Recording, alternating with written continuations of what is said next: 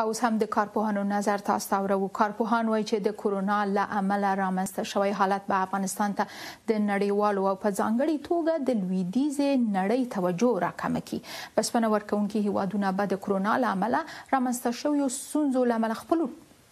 ستونزو ته توجه وکړي او په خپل هیوادونو کې داخلو ستونزو ته به خپل پام ورواړوي په دې اړه زموږ همکار احمد الله ارچیوال رپورټ لري په هغه انلاین غونډه کې چې په لندن کې میشت د افغانستان د بنسټپاله دوستانو سازمان لخوا جوړه شوې وه، پوهانو په داسې حال کې چې د افغانستان سره یې د نړیوالو مرستو په دوام او دغه هیواد ته د توجه پر اړتیا ټینګار کولو، افغانستان ته د نړیوالې ممکنه توجه په کمیدو یې اندیښنه څرګنده کړې. دوی وویل چې لویدیځه نړۍ او په ځانګړي توګه امریکا شاید د کرونا له امله افغانستان ته توجه کمه کړي.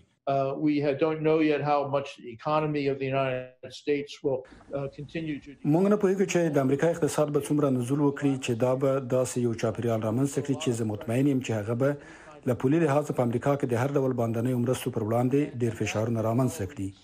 دا کار به نه یوازې له افغانستان څخه د پوځیانو د راایستلو بلکې له افغانستان او نورو ډیرو هیوادونو سره د امریکا د ملاتړ پر وړاندې سیاسي فشار شاید تیز کړي. could prove challenging to the Afghan government in many ways.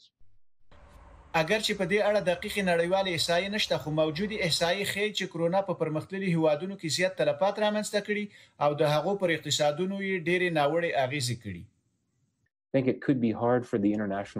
زه فکر کوم چې لږ تر لږه په لنډ مهال کې په داسې حال کې چې دوی په خپله د پیچلي او وژونکي اضطراري حالت سره مخامخ دي، د نړیوالې ټولنې لپاره به دا ستونزمنه وي چې خپل موجودیت او مرستې تېزې او له افغانستان څخه خپل ملاتړ زیات کړي، نو زه فکر کوم چې هغه مرسته چې افغانستان ورته اړتیا لري، افغانستان شاید زر هغه ترلاسه نه کړي.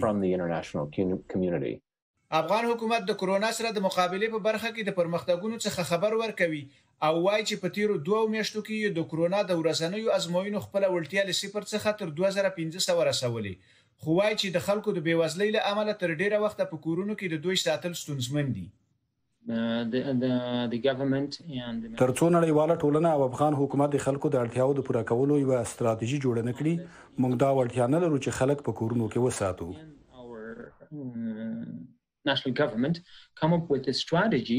کرونا د بډایه او بېوزله هېوادونو اقتصادونه په بېمخینې توګه ځپلي. وېره دا ده چې هېوادونه به له دغه اقتصادي رکود څخه زر راونه وځي.